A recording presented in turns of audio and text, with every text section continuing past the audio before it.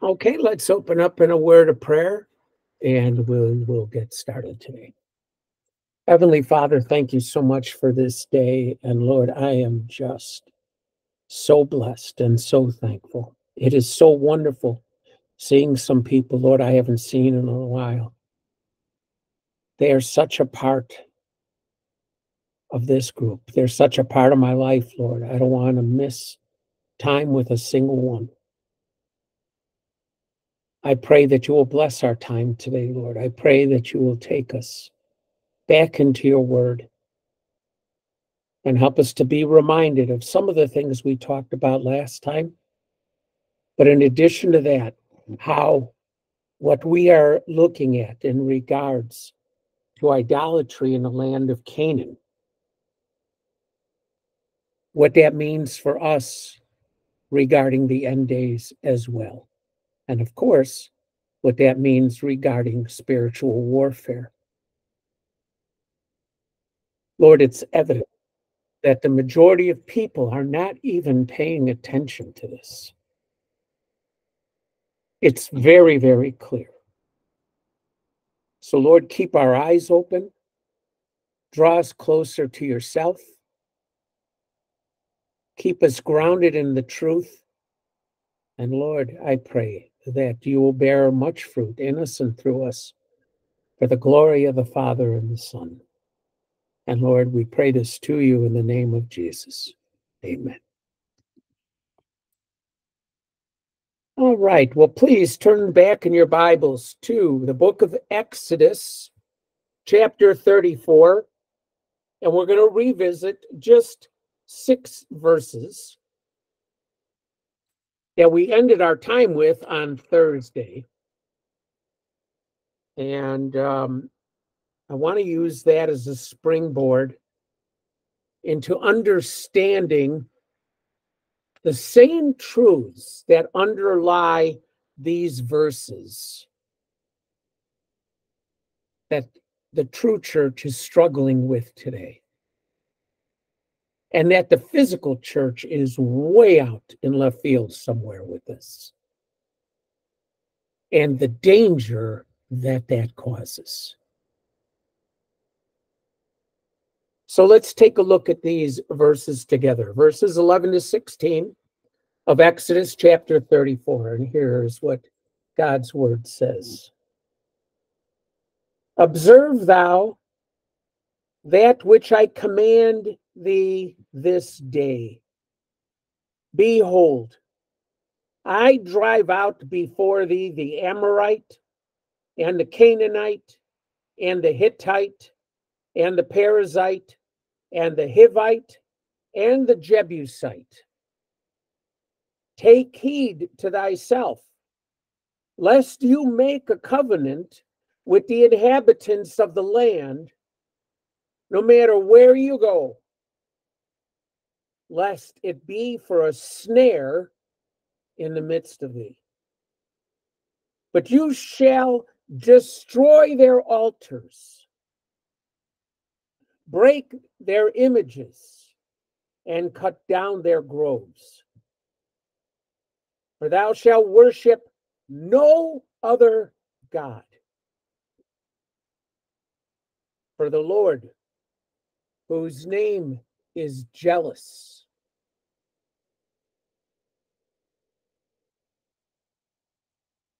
Bear with me, I just lost my spot. There we go. For the Lord, whose name is jealous, is a jealous God. Lest you make a covenant with the inhabitants of the land, and they go a whoring after their gods, and do sacrifice unto their gods, and one call thee, and you eat of his sacrifice. and you take of their daughters unto your sons.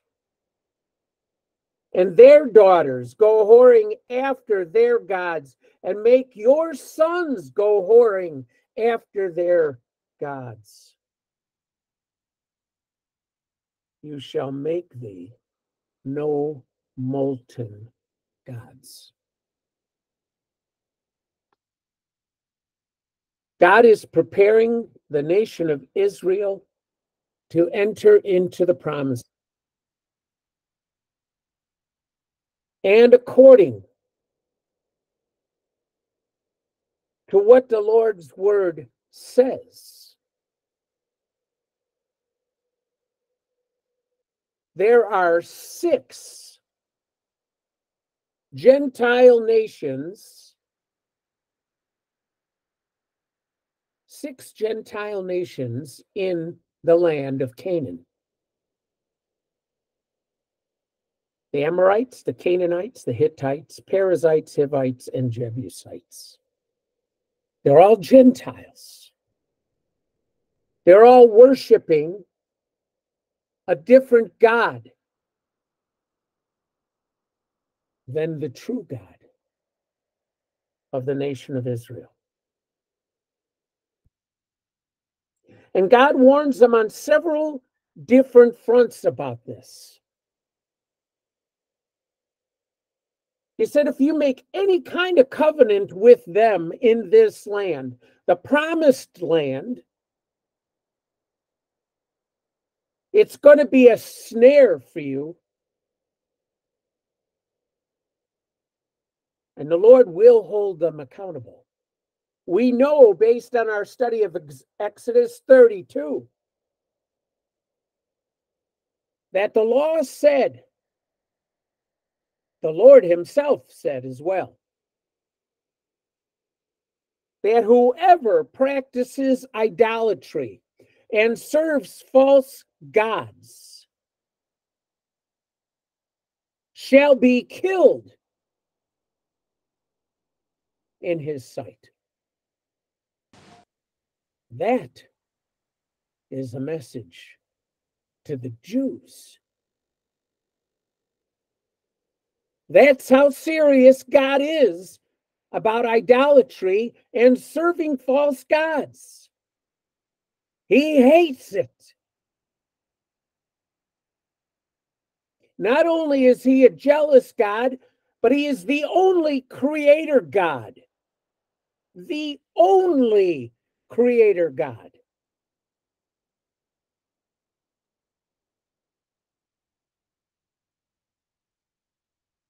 It makes a difference what we believe. It makes a difference who we believe. It makes a difference how we believe. Now, the danger for the Jews, not just in the land of Canaan, but everywhere they went, as David and the other kings conquered other lands, their biggest obstacle was all those other nations were Gentile nations. And every single one of them practiced idolatry. Every single one of them worshiped a different God.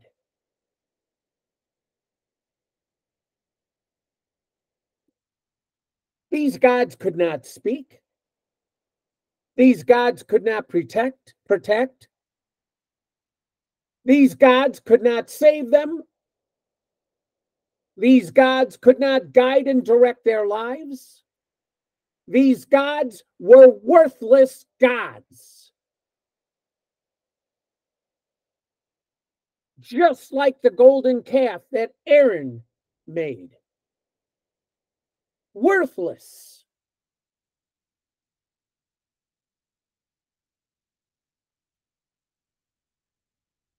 But here's the problem.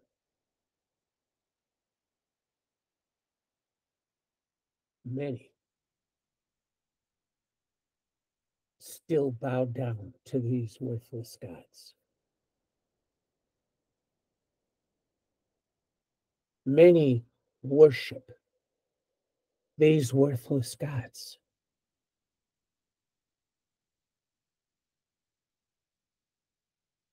They offer up sacrifices to these gods.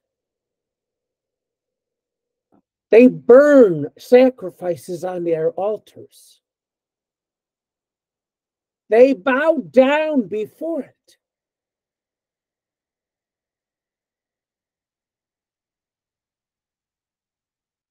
In the case of what Aaron had done in Exodus 32, he even called for a holy day to the Lord.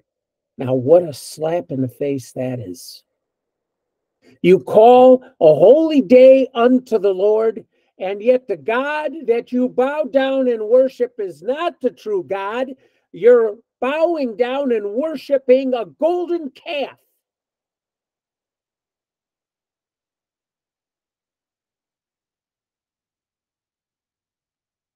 Do you think that there is the wrath and the judgment of God that is just waiting to be poured out on this world? Or do you think that God is just going to turn his head and overlook it as if it's no big deal? Well, let me remind you one thing for sure. In the days of Noah,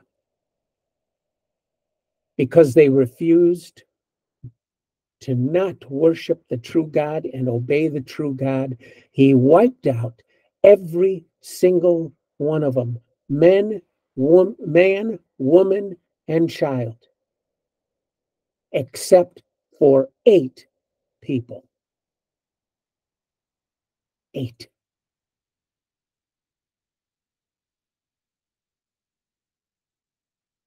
In the cities of Sodom and Gomorrah. He wiped, wiped out the whole population of two major cities because of their sexual practices.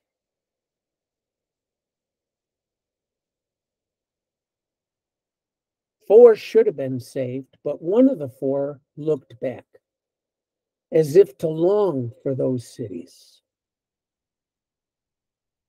Only three survived that.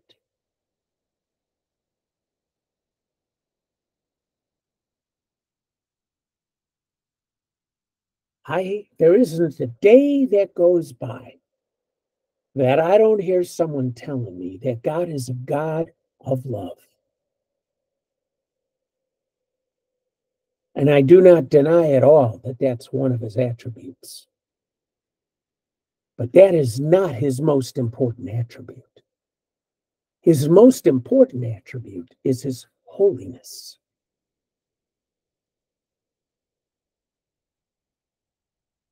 If he was a God that was all love with no holiness and no righteousness, well, maybe he'd spare the whole world.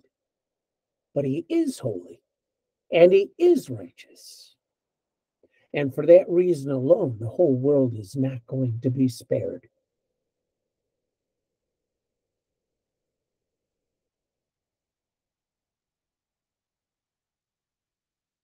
The people in the world at the time of Noah came to learn that. The people that were alive in the days of Abraham certainly knew that. And yet, there is a judgment that is coming that will make those two judgments look like nothing. Because this one is going to destroy the whole world.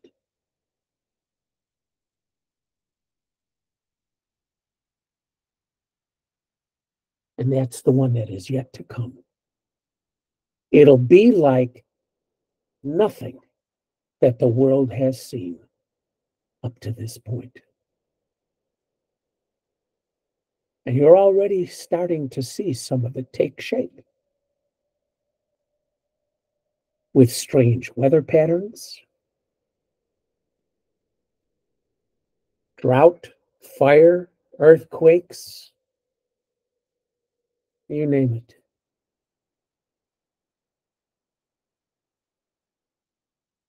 And that's still only the beginning.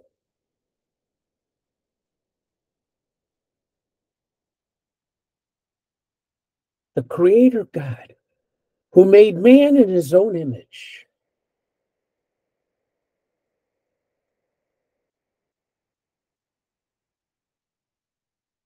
and who gave them a place to dwell.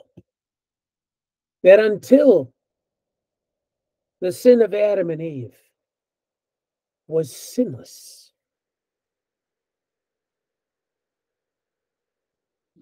And look at where we have come.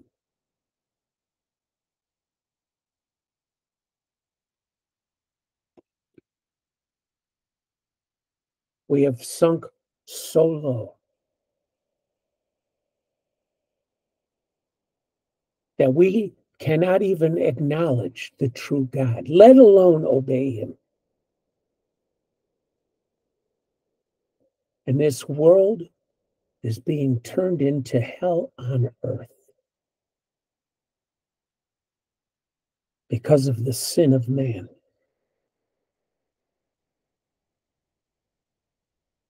That has impacted and affected every realm on this earth that it possibly could, and that includes the church.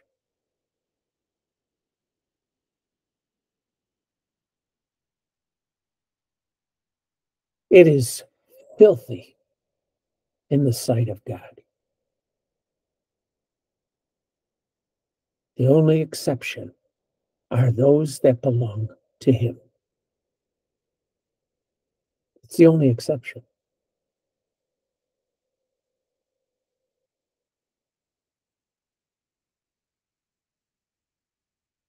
God tells the nation of Israel, who are his chosen nation, his chosen people, the people that the Messiah was going to be born to.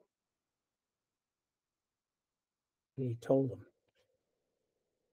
You've got six groups of Gentiles. And you better destroy every idol and every altar.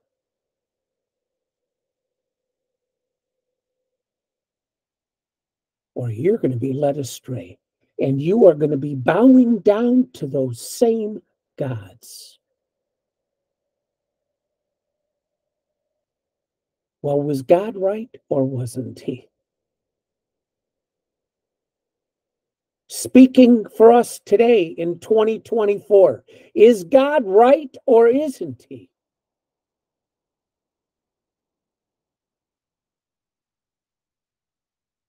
We are bowing down to anything and anyone that man calls a God. And we're listening to them more than they are to the true God even though we're holding his word.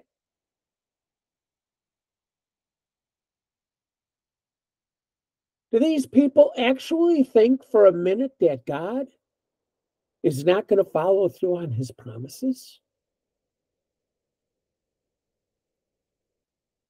Someone would have to be dreaming to think that.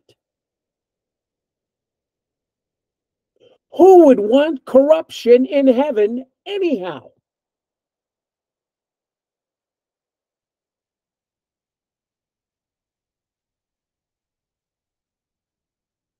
God's not going to budge an inch.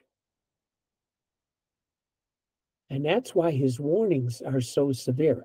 The problem is, especially in our day, no one's listening to it.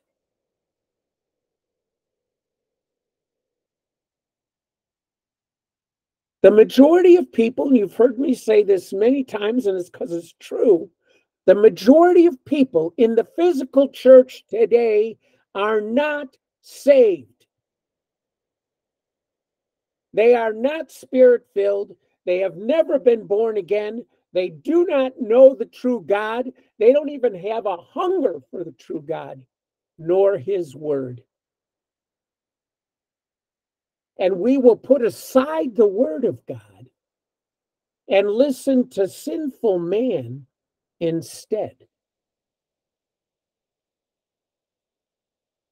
Where do people think that is going to get them?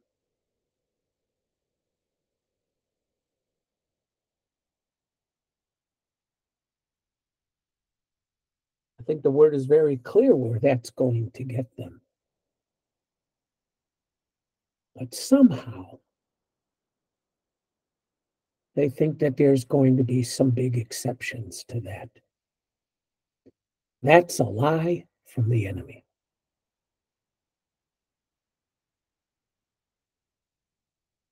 God has never broken a promise. And what God has said was going to happen, happened. And now, what he's saying is going to happen is going to be something that is unlike this world has ever seen.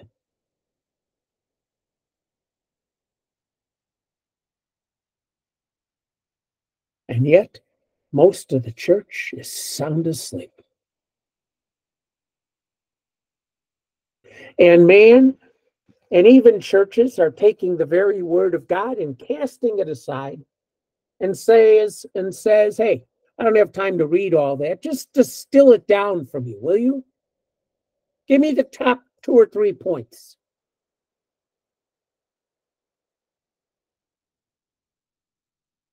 And there's pastors that are willing to compromise that.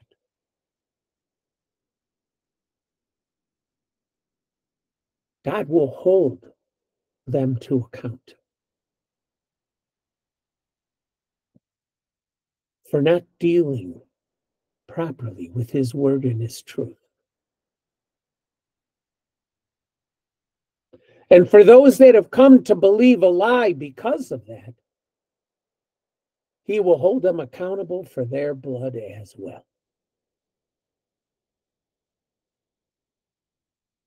Ezekiel talks about that to a great extent.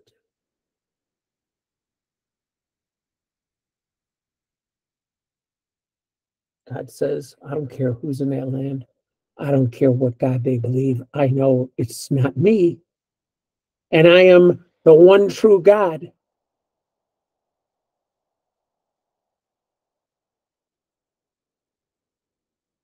So destroy their altars, break down their images, cut down their groves. And you, my chosen people, will have no other God before you. For I am the Lord, and I am a jealous God. And then he warns them one more time, and he says, if you end up making a covenant with the people in the land, here's what's going to happen.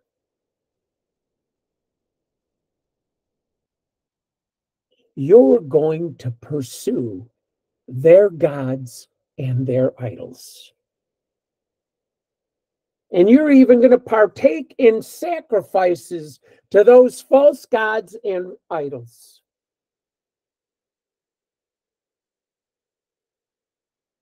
And then on top of it, you will even partake in eating of the food which was sacrificed to that false god and false idol, which was forbidden for the Jews.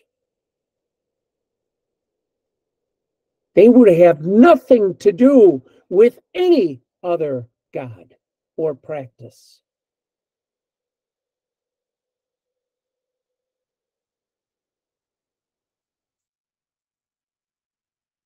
But the reality is, by the time they were ready to come into the land,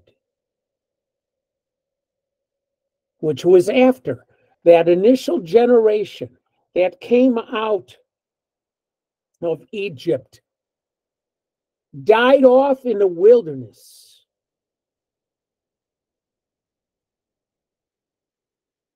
The generation that came from them is actually the one who inherited the promised land.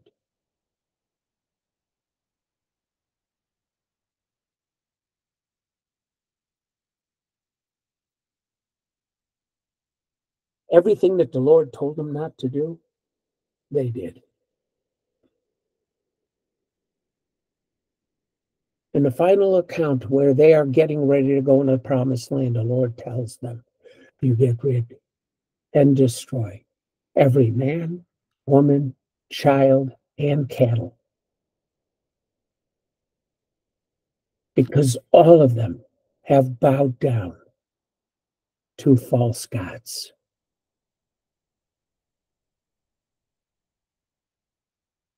And he warned them to say that if you don't, this is going to come back and bite you. Because you and your own people in the nation of Israel are going to do the exact same thing. You're going to bow down to their gods. You're going to worship their gods. You're going to burn offerings on the altar. And then you're going to eat of that food, that sacrifice to an idol. And sure enough, that is exactly what happened. To top it all off, when they were told to kill the women, the men of the nation of Israel decided what a waste that would be. Let's spare the women and we'll take them for ourselves. It was through those women that they were seduced into believing in these false idols and false gods. So much so that they were, in fact, bowing down to them, worshiping them on the altar, offering up sacrifices to them, and eating the sacrifices.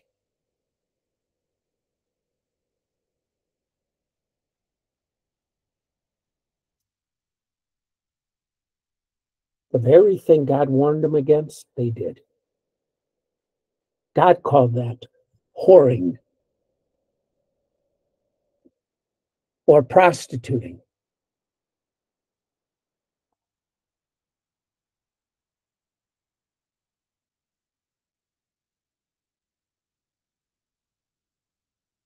He even warned them for the sake of their sons.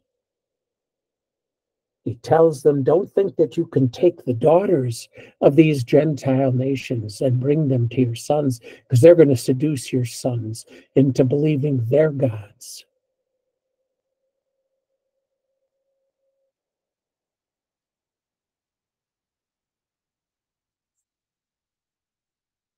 And you will be just as corrupt as they are.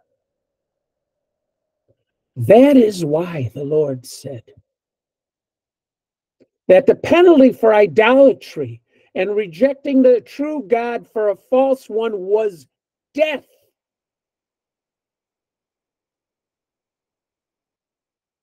You can't get any lower than that.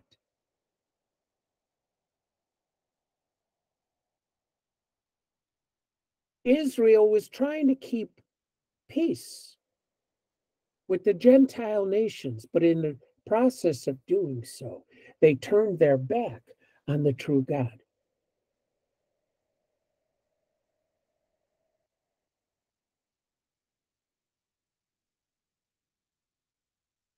They have paid for that mistake more than any other nation in the world. And they still continue down that path.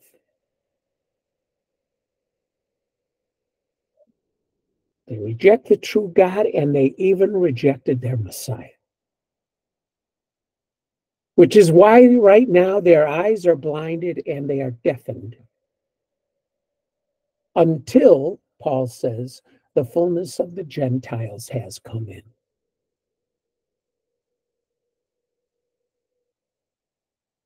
Israel is not going to receive their Messiah until the period known as the Great tribulation. The second three and a half years of the tribulation, the worst of the worst time. The Antichrist will be reigning.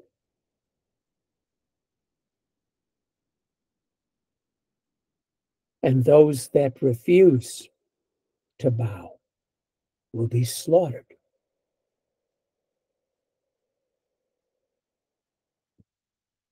All of that stems from idolatry.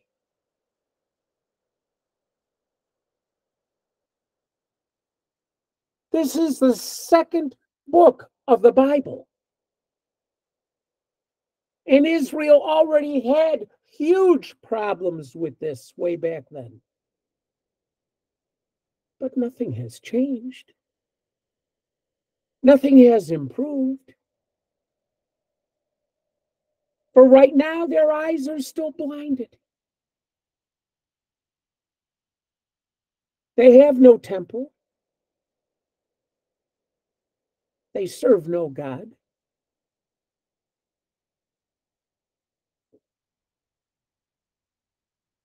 And they reject Jesus.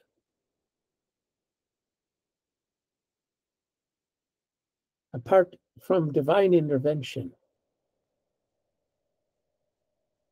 they'd never be saved. But even in the future, for those that are saved, there's still this 2,000 year period of time that all those Jews died without a Savior.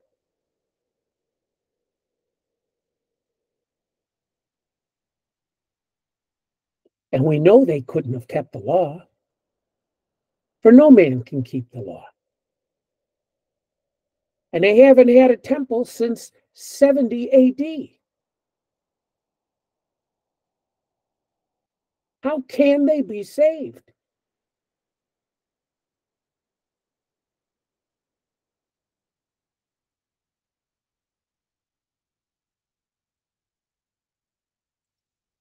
This has implications not only for Israel, but for us too.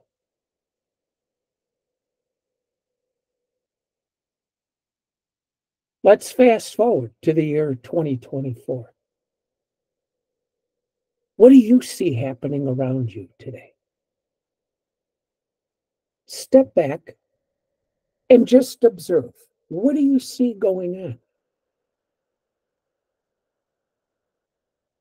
Well, for one thing, there is no right or wrong anymore. Perhaps that's why they don't want anything to do with God's word. Because God clearly speaks about something that is right and something that is wrong. Maybe that's part of the problem. But there's something something even more frightening than that.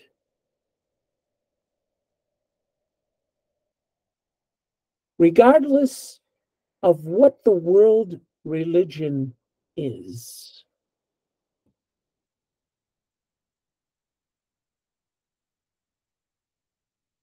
We've got people that are willing to compromise. They take it upon themselves this is not a work of the Holy Spirit in their hearts.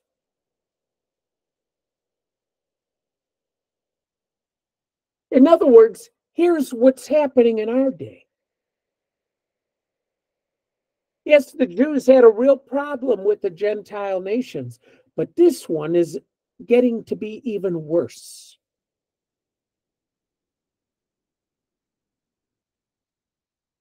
Because in our day, everything is global.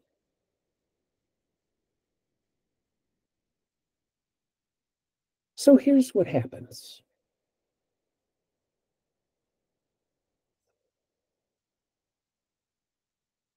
Before they even acknowledge the true God and bow down before the true God,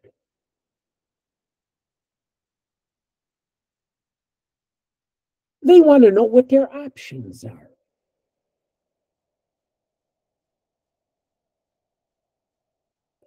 Now, right off the bat, that's something very, very different than on a few millennia ago. It used to be that when the true God spoke or spoke through his prophets, there was no questioning anything.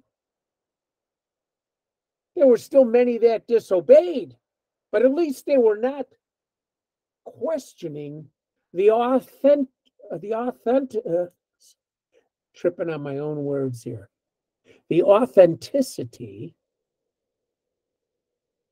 of what the true God said.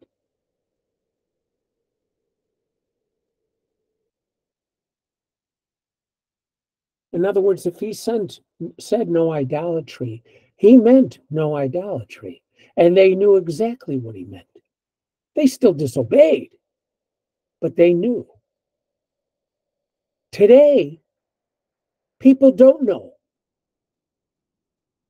And they're okay without knowing because for them, ignorance is bliss.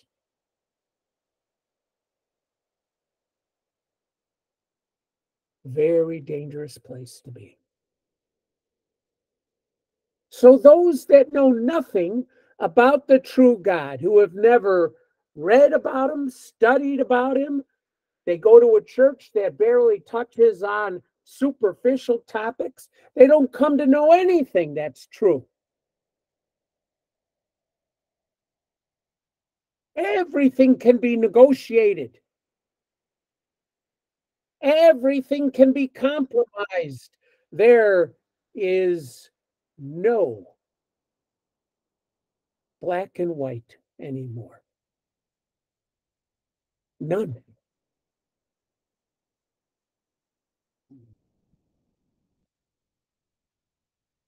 So now you've got these people ignorant of the truth, and before them is a whole buffet of different things they can pick from.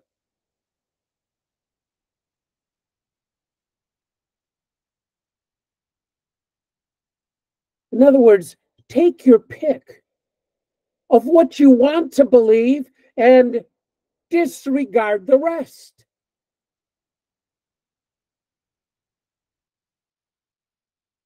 Take your pick of the kind of God you want.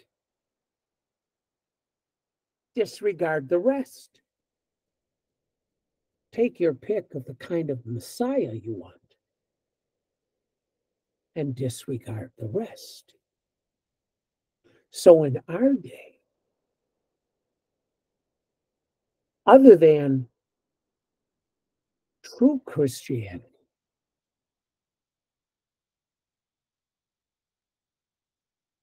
who are the elect of God alone. Everything else can be compromised. And it is being compromised.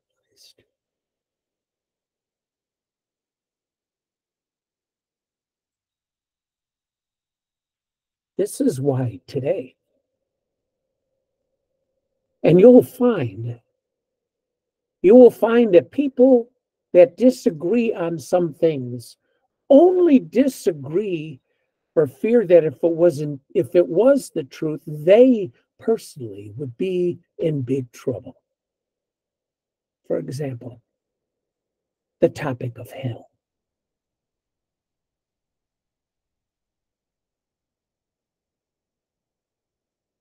Some say hell's not a real place. Some say the judgment is not eternal. Some say, like the Pope of the Roman Catholic Church, the current Pope, that hell is only a state of being.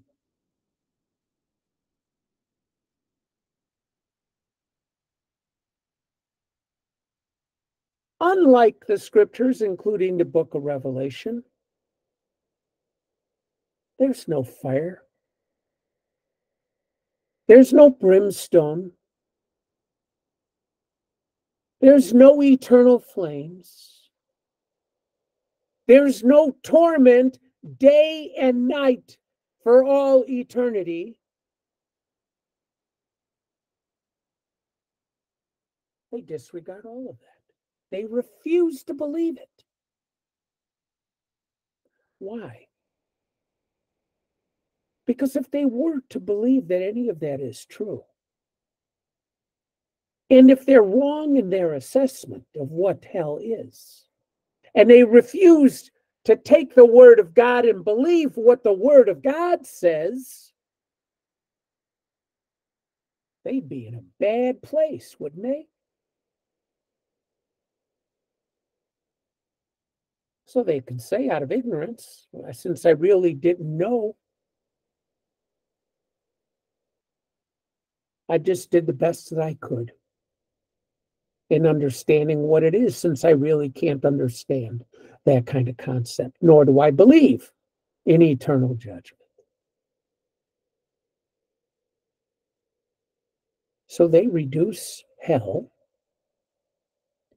like the Pope in the Roman Catholic Church, down to a state of being.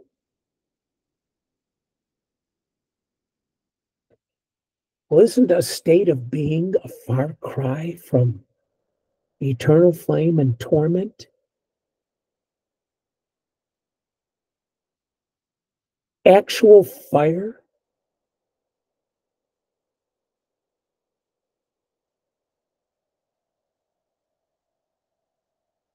This is the leader of 1.2 billion followers.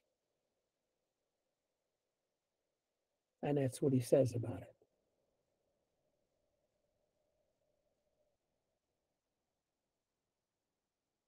Now, if that's what it was,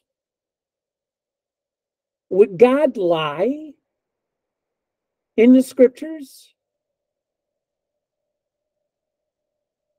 Would God intentionally tell us a lie?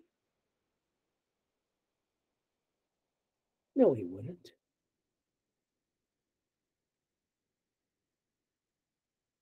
God is truth. This is man, and behind it is the enemy, seducing them with lies and signs and lying wonders. Getting them, just like he did, to completely discredit the word of God so that the meaning of what we think it is is completely different from what it says. Well, how many people would fear hell if it's only a state of being?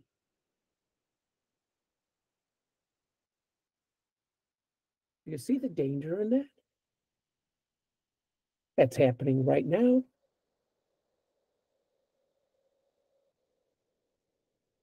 I know that some of you who are here pretty regularly, you've heard us talk before about the fact that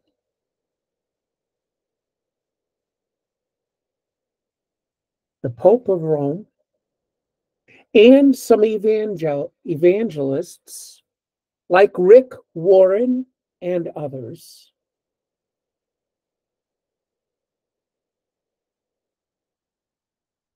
Are very supportive of the religion of Islam. So much so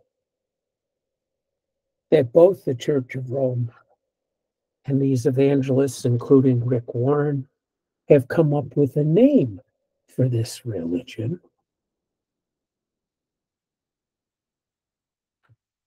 And it is intended to promote those who believe in Islam as our brothers and sisters in Christ. The name of the religion is Chrislam. Christianity and Islam together. But is that even possible? Well, it all depends. It all depends on how much you want to compromise the truth. Let's start by me giving you some basic facts.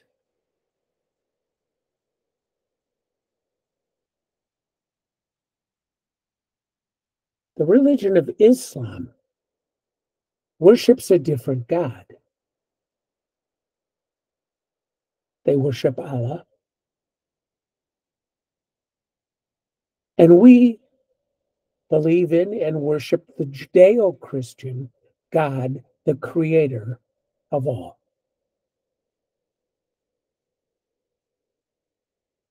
Though they acknowledge the name of Jesus,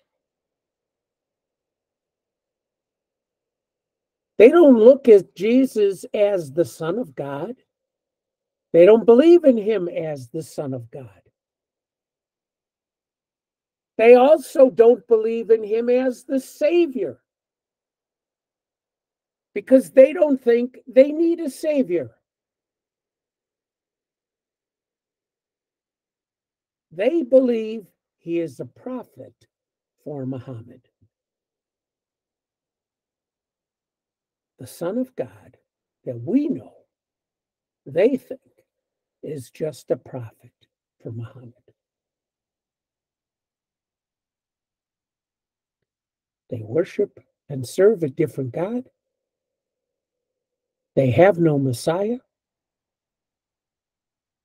And Jesus is only a prophet. They also deny the crucifixion. They deny the atonement. They deny the resurrection. So, just with that much, where are all the similarities between the Islamic God or religion and biblical Christianity? Where are all these similarities?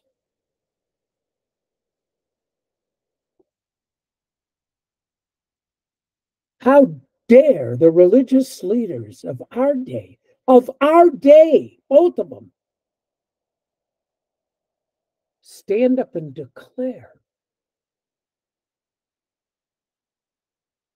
that Muslims, without professing faith in Jesus Christ as Lord and Savior, as the Son of God, and as the Messiah,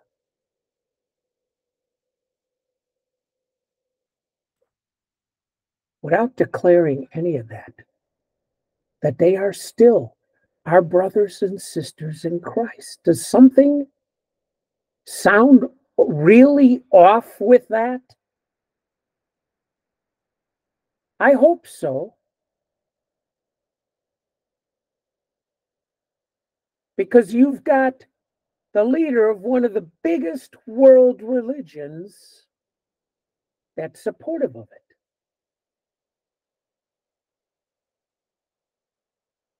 so much so that they're quick to call them brothers and sisters in Christ.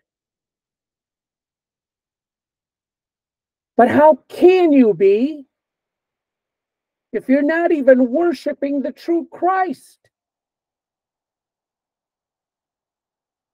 They've never been born again. They've never received the gospel. How can they be? Unless you are compromising everything that you know and believe regarding what the scriptures say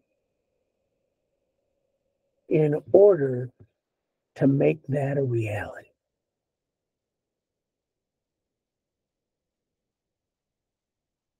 And if that's what's happening, which clearly is what is happening,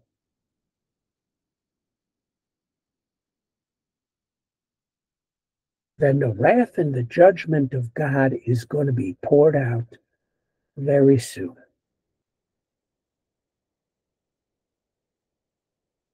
Jews in the days of their going to the promised land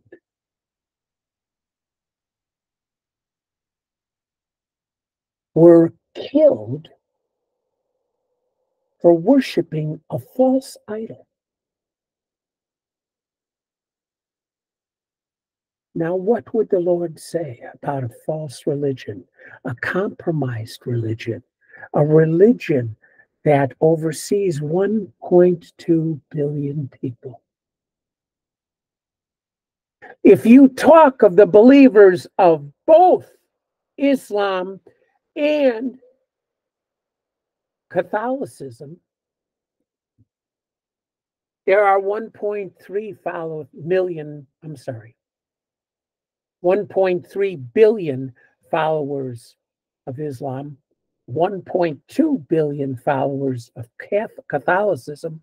That is 2.5 billion people, which is more than 25% of the world population today believe in one of those two. 25 plus percent.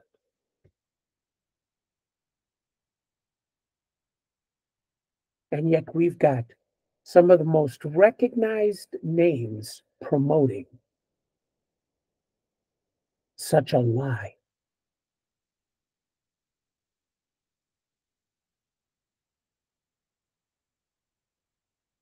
Ladies and gentlemen, we know that we cannot be saved by any religion, right? Because a religion is based on the works of man, and no man or no woman is ever going to be saved by their works.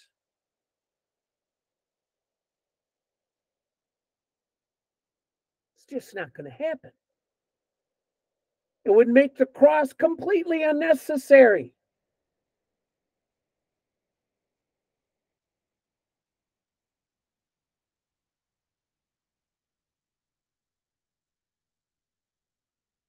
We also know that salvation is not found through the keeping of the law.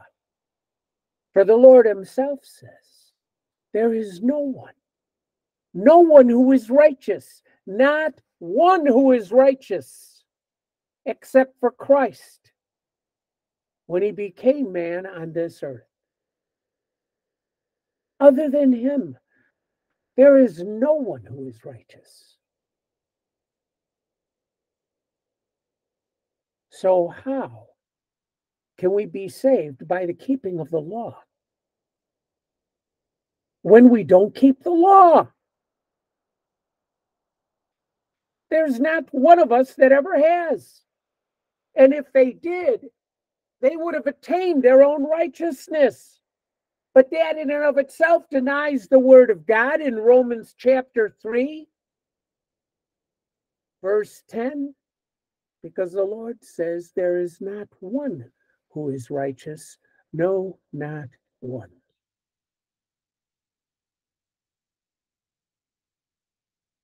So we can't be saved by our works, can't be saved by our good deeds. We can't be saved by our religion. And we cannot be saved by the law. How else can we be saved? If any other religion rejects all that,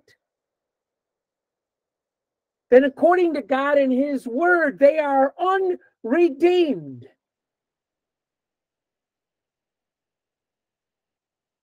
And if they're unredeemed, ladies and gentlemen, how and why would we even attempt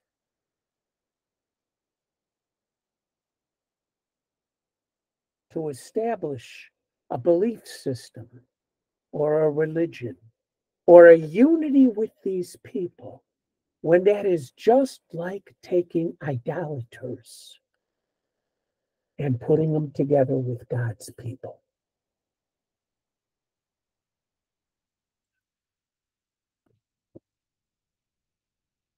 When God would have killed those same idolaters. How can we do that? Don't think it's it stops with Islam. In our day, you've got the same blending of religions going on right now with Hinduism and Christianity, Buddhism and Christianity. You can go right down the list. There's this unification of go of man going on that is uniting everything they believe. And where they cannot unite, someone compromises. And to this date, the one that's doing all the compromising is the Christian faith of all people.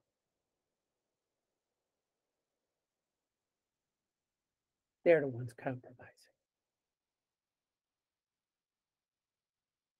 They're compromising to serve a foreign God, a different God, an idol. Their Messiah is reduced to a prophet, which means the atonement on the cross of Calvary means nothing. In fact, if the Lord hadn't already received it, you and I would have no means by which we could be saved.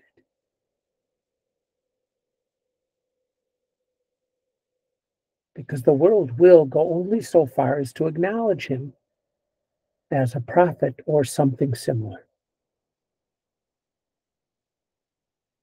It's idolatry.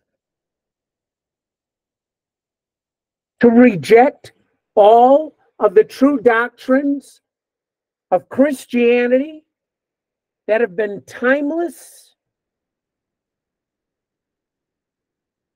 all for the sake of compromise, is idolatry.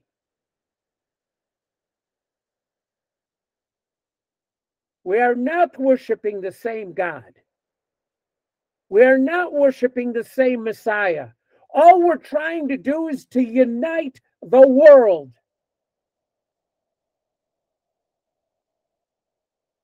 And we are going to have a charismatic leader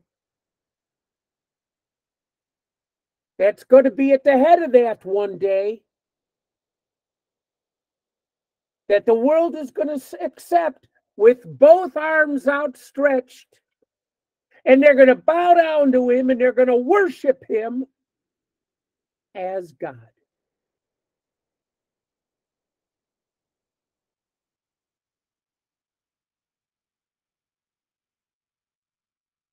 Because he's going to understand us. Well, sure, he should. Because he sinned.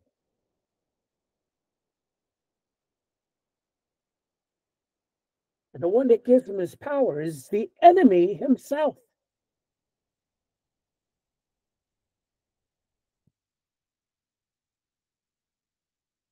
We have no idea how treacherous the ground that we are walking on really is. And men and women are still quick to compromise. We're still quick to find middle ground. Ladies and gentlemen, if you're looking for middle ground, then you're hanging on to the wrong faith. It'll never save you.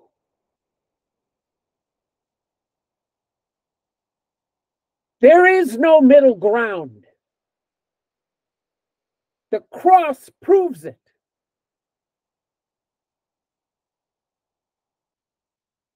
How, after everything that Jesus did on our behalf,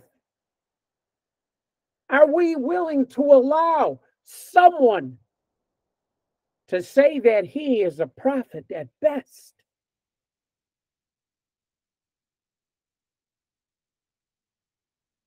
Yet look around. That's exactly what's happening. And even in their doing that, they still refuse to acknowledge him for who he is. He's not the Messiah to them. He's not the Son of God to them. He's not eternal to them. He's not the Word incarnate, which is why they think they have all the permission in the world to compromise whatever they feel like, all just because they don't agree with it.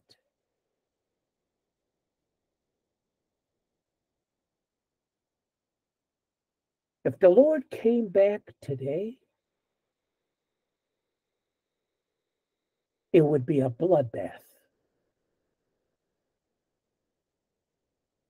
And I can guarantee you that out of the whole world, you would be looking at a very small percentage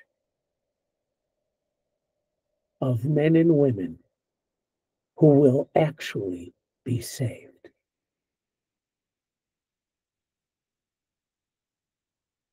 That's why Jesus said,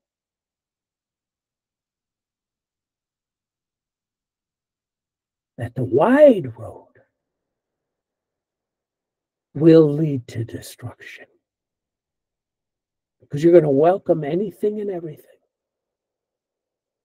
But the narrow road is the road to heaven. Unfortunately, Jesus himself said, Few will ever find it.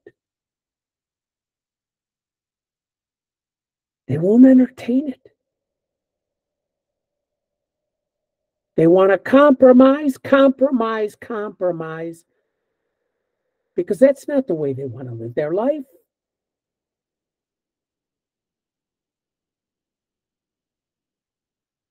It's so restrictive. In essence, that is exactly what Adam and Eve said before they took the bait to the enemy. You realize that?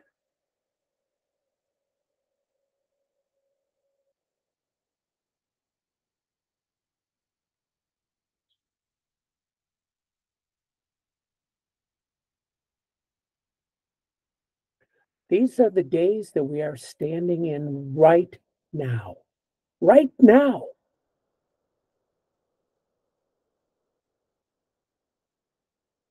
The world are fo- is following people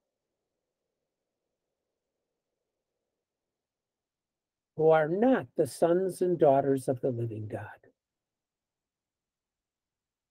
but who are instead willing to allow them to compromise whatever they want. After all, they themselves are compromising. Don't think for a second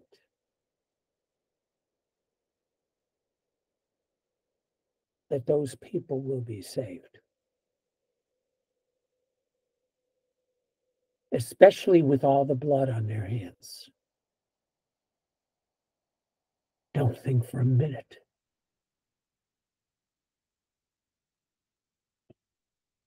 Remember what all this is working towards.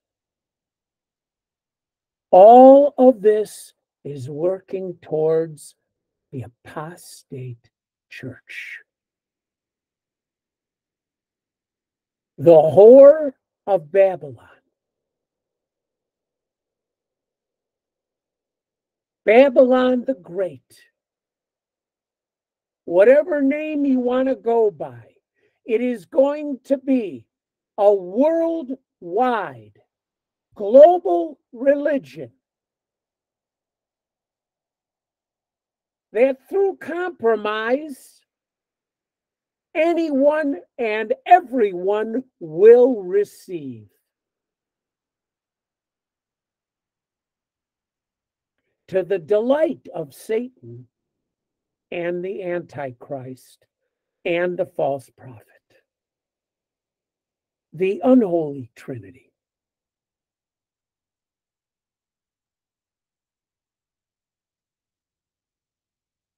And while normally all of those would have been put to death, God is holding off his judgment for the end.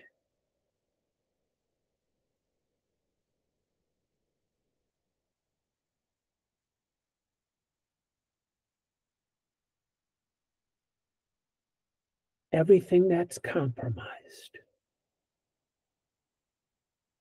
will lead people to hell.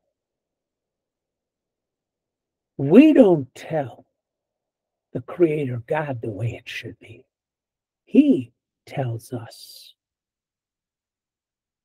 We yield and obey. And if we don't, we don't belong to Him. Compromise whatever you want. You don't belong to Him, and neither does anybody else that is believing those lies. And when Babylon the Great, that pagan world religious system that comes into power, which is already in the works,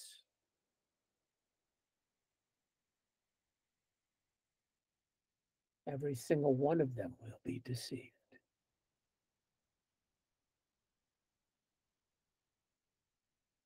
And it'll be too late for them to be saved.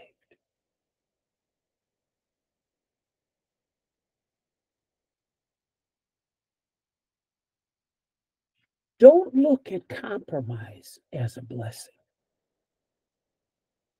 Look at compromise as a curse. If what you are compromising is the true God, the true Messiah, the true Spirit, and His Word, don't touch it, reject it.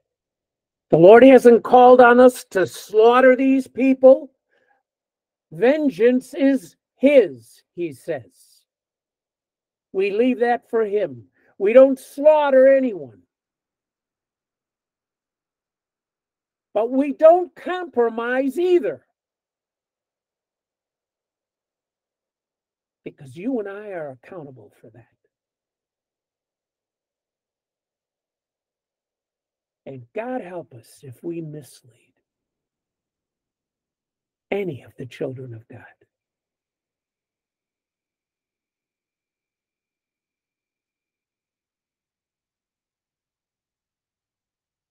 Now, with that said,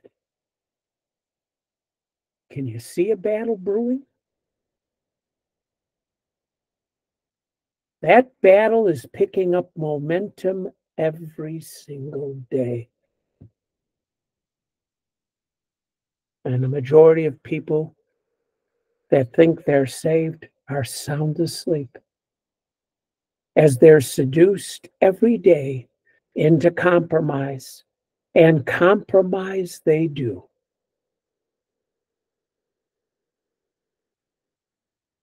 They will never be saved.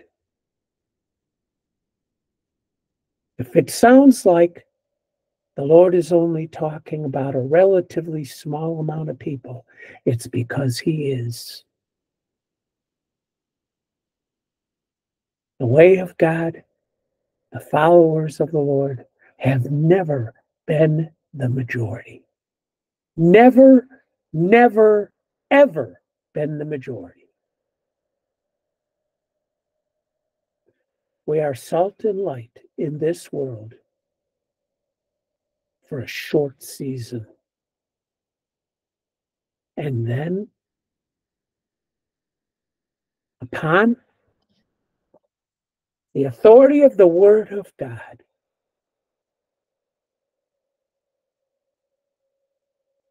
the enemy's kingdom comes into power. The final Gentile kingdom that is getting so close you can almost reach out and touch it.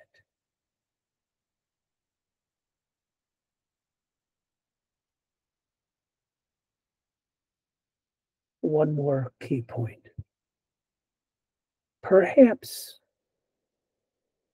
this goes a long way in understanding the Pope's words.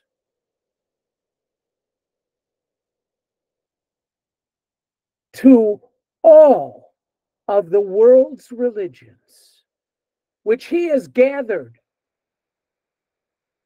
and has regular meetings with their leaders so that we could have this one world poor.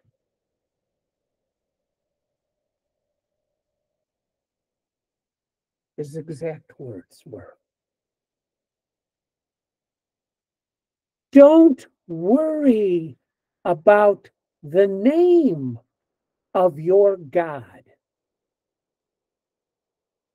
the Pope says, because we all worship the same God. He just goes by different names.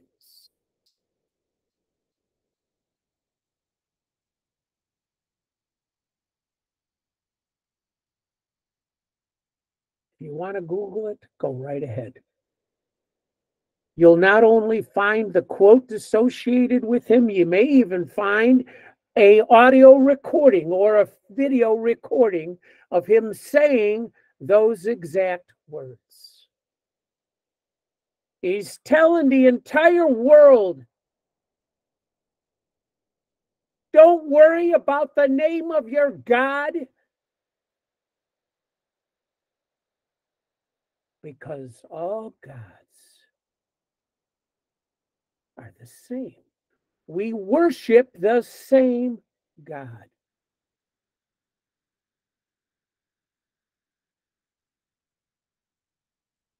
Now, let me ask you this.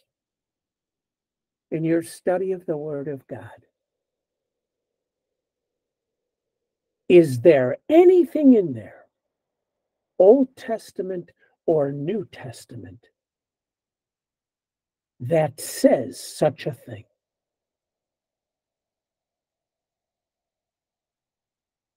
Of course, the answer would be no. Now, what do you say when the second largest world religion or third largest, whatever it is, is standing up and saying that in front of the whole world? And he is supposed to be Christian. I would say he is an antichrist.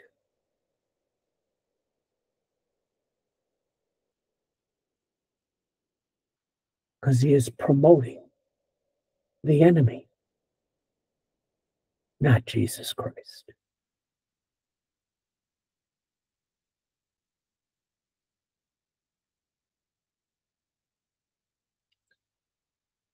That whore of Babylon, that final religious order, whatever it's going to be called, I can tell you this much. Whatever it's called, it doesn't even matter. Because I'll guarantee you this the Pope is going to be a part of it. The Roman Catholic Church is going to be a part of it. Guaranteed, along with every other world religion. So that no matter where you go in this world, you can worship the same God who won't be a God at all.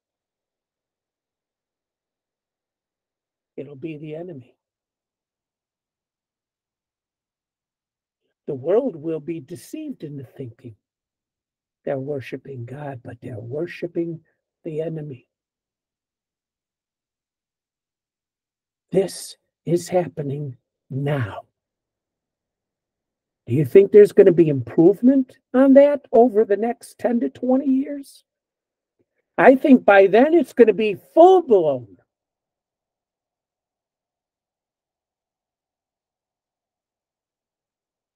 And that the number of true believers, as the church continues to grow in apostasy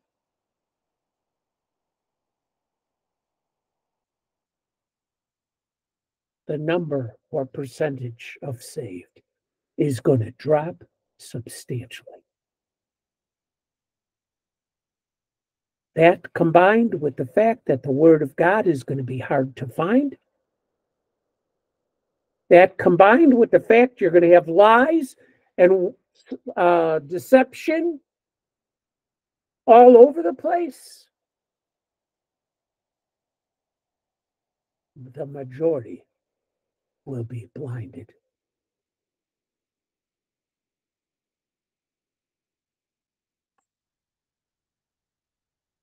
And it will take, it'll bring rather great pleasure to the Lord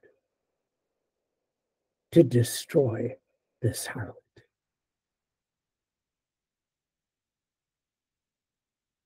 Who fornicated spiritually with the kings and the queens of this world.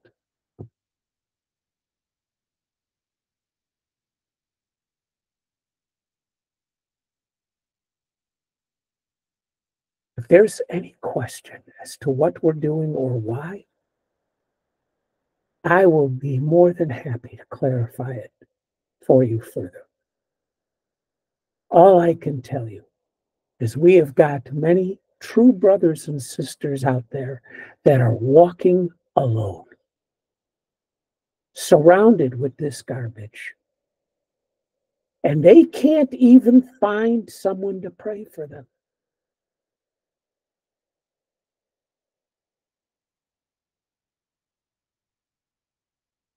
in our day. It comes out of our own pastors' mouths. Gee, I'd like to pray for you, but I don't have the time. What is more important than that?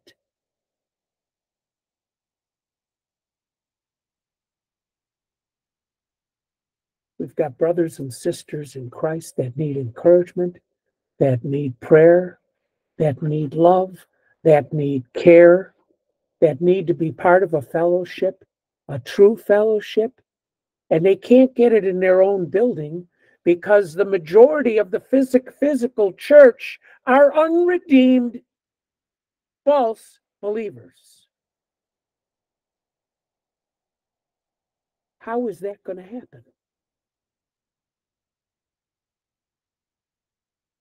This is nothing to play with because it's almost right in our face.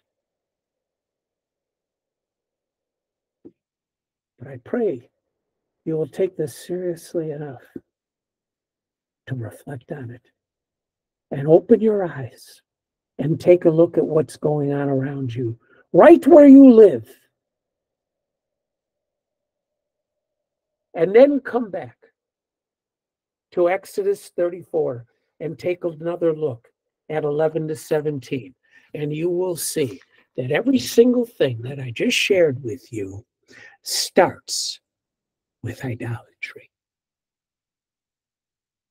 and compromise.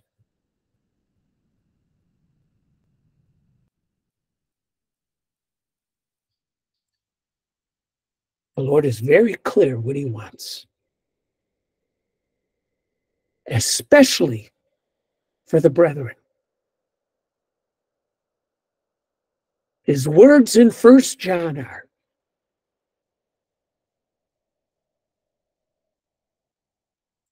that as you have, as Jesus has laid down his life for you, and you have received that from him, so you should lay your lives down for the sake of the brethren. Who are the brethren? It's not mankind. It's not a brother or sister you have in your household because even within a household, there's no guarantee everyone's going to be saved.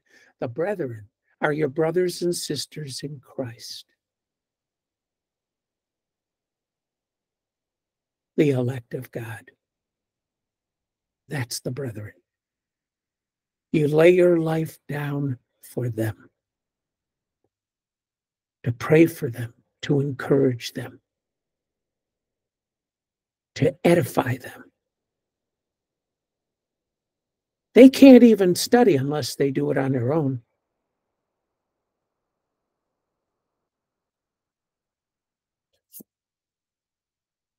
They will never be ready for what's coming if we continue to leave them out there alone. And I'm sure that the majority of, of you know such people.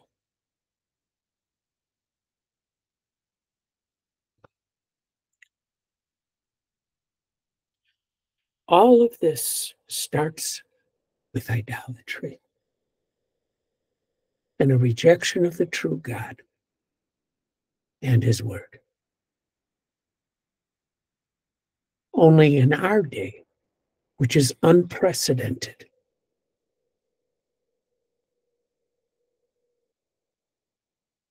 this is going to lead to the end.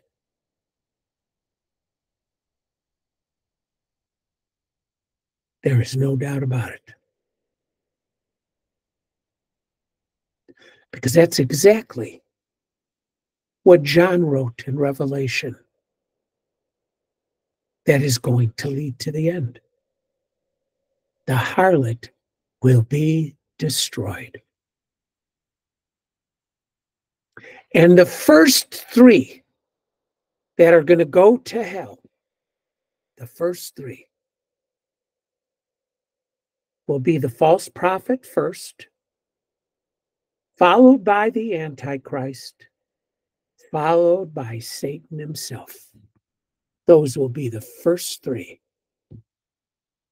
in the lake of fire. Now, if the lake of fire, according to many, is just a little slap in the wrist,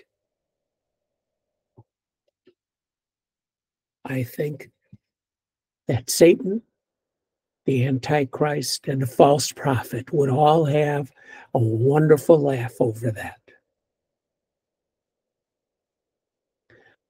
That alone tells me that the lake of fire is exactly what the Lord says it's going to be. It is not going to be a state of being. What the heck does Satan care about a state of being. What kind of judgment is that?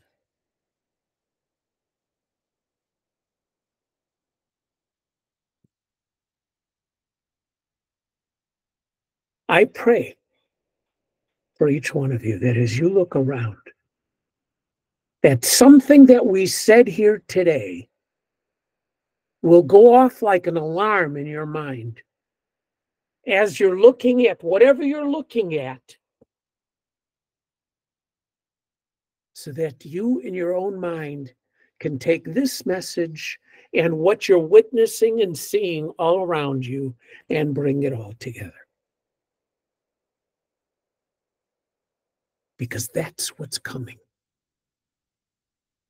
Forget the wars, forget the famines, yeah, that's all a part of stuff we're going to deal with, but we already deal with that stuff. We're talking the end of the age. The end of the church age is coming, and this prostitute is going to reign.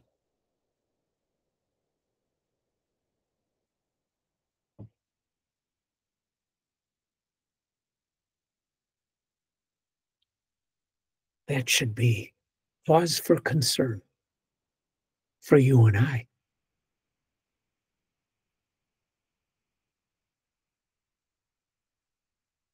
None of us know when the Lord is returning.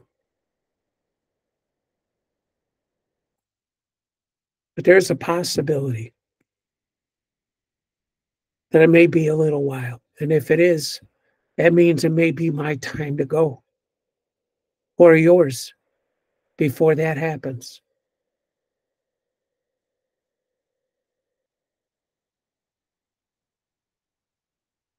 The last thing I think we would want is to have our eyes open and understanding what's going on.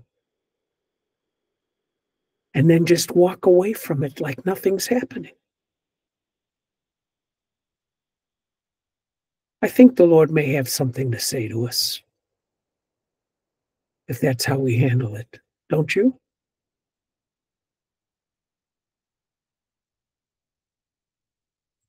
Let's pray. Heavenly Father, thank you so much for your word and truth. Lord, everything starts with idolatry. Everything starts with rejecting you as the true God.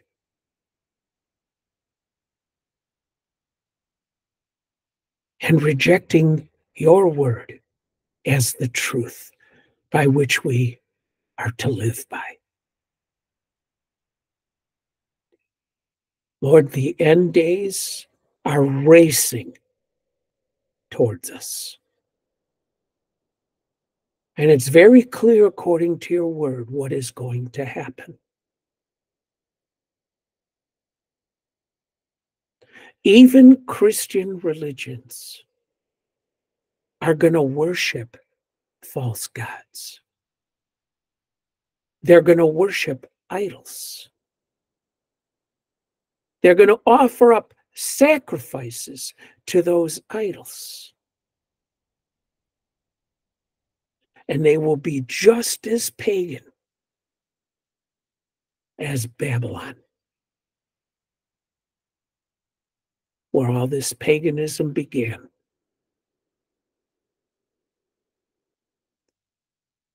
I pray, Lord, you will keep us firm to the end. I pray that the word compromise will be taken out of our vocabulary. Because anything regarding you, Lord, compromise is not a good thing.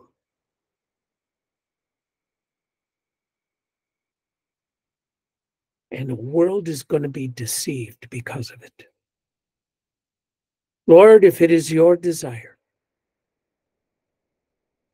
and there are brothers and sisters that you want us to minister to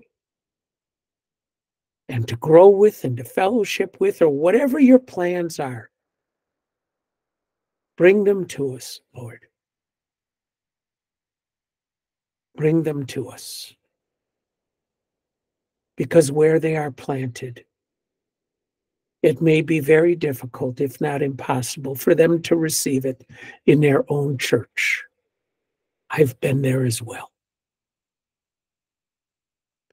May your will be done, Lord, for your glory. And may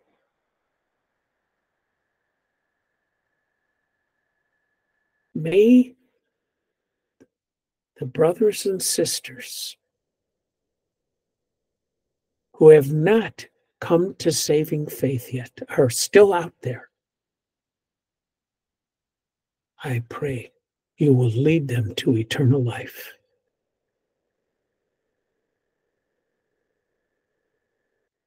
That the church age will come to an end. And your judgment will be poured out. We love you, Lord, and we thank you for this honor and privilege to come together. May your will be done in the name of Jesus, we pray. Amen. God bless you, everyone. I thank you so, so much for being here today. And I pray, I truly pray that the Lord will speak very, very clearly to you in the days